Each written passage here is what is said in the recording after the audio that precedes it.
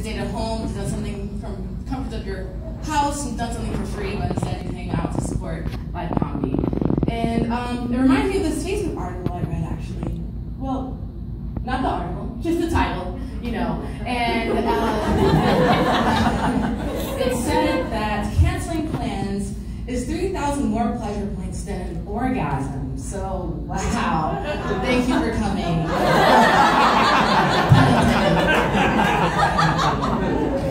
so, my name is Indigo Ross, once again. Uh, you probably have never met another Indigo before. Um, my name's like first name, nothing like it. But then my last name falls all flat, like Ross, like Ross, like the guy from Friends. And I, uh, when I meet white people who share the same last name as me, I think, their family probably owned mine.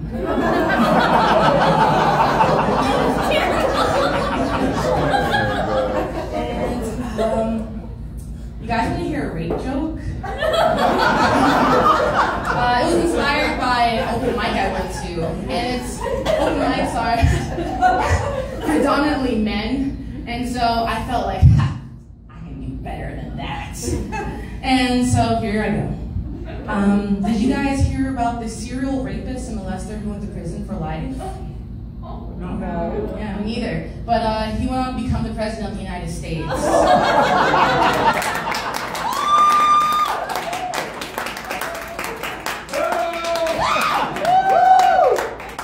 And see, the beauty of this joke is that you don't know which white U.S. president I'm talking about. I could be talking about, you know, Cheese Puff McGee or uh, Thomas Jefferson. History of the United States in a nutshell. I really like you guys so far. Thank you. oh, you guys are smart. and um, so, besides salesmen, I have a hard time getting guys to talk to me voluntarily.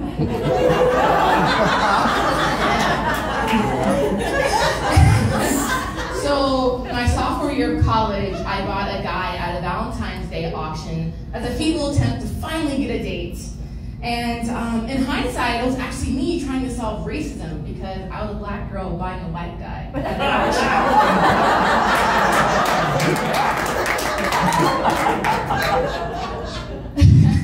so um, um, right now, I'm currently dating an Asian guy. And so one of the most annoying questions I'm asked is like, so is it true about Asian guys? you know. You know. Um, no, I, I don't know. You, you tell me. I'm, I'm not the racist one here. You are. and it's like, you know, just, I just think of like when I meet or I, I talk to my friends who are dating white guys, I don't go up to them and ask myself, is it true about white guys? You know, how they rape you and steal your resources.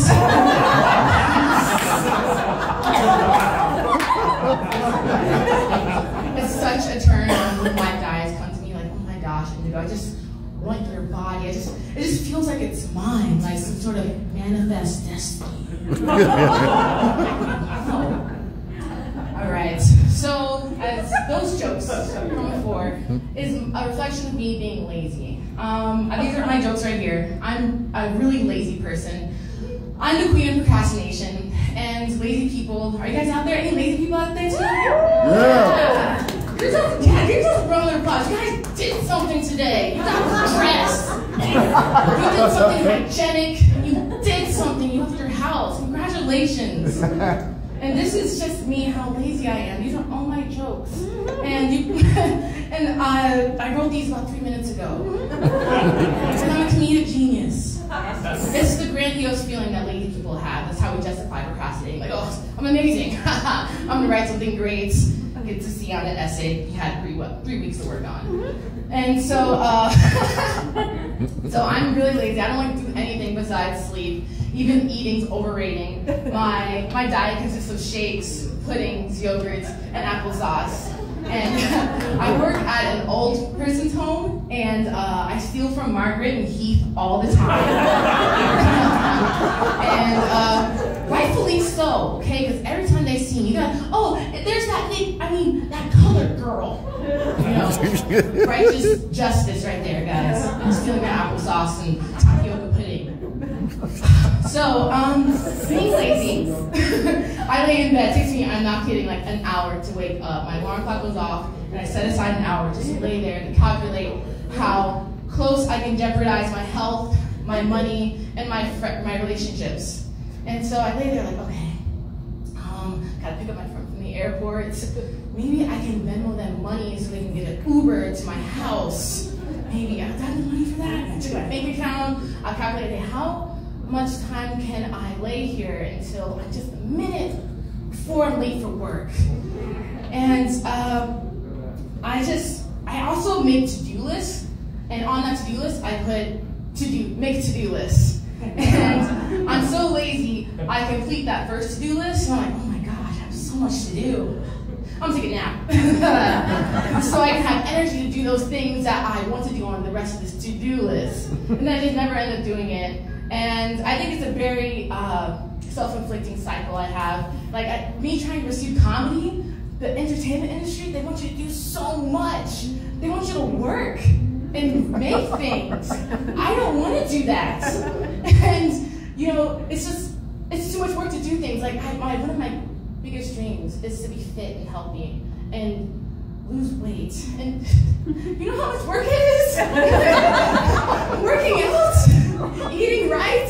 I have to avoid things that make me happy. You know what makes me happy? Sleeping. I can't sleep. And so Uh, consider tonight to be my last night on the comedy stage. No, just kidding. I'm back, back here next week. And do this again. All right, that's my time.